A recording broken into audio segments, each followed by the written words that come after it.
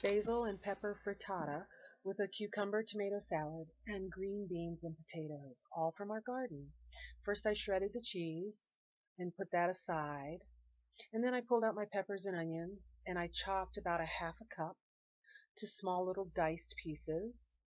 And then I took my fresh basil from my garden, chopped that up, added that all to a hot skillet with scrambled eggs. And then once that was nice and set, I added my shredded cheese on top, put the lid back on my pan, and let the cheese melt. And now my frittata is done. Next, I made the green beans and potatoes in a nice pot with a little salt and oil. And I also sliced up some fresh tomatoes and cucumbers from our garden, drizzled balsamic vinegar and olive oil over that.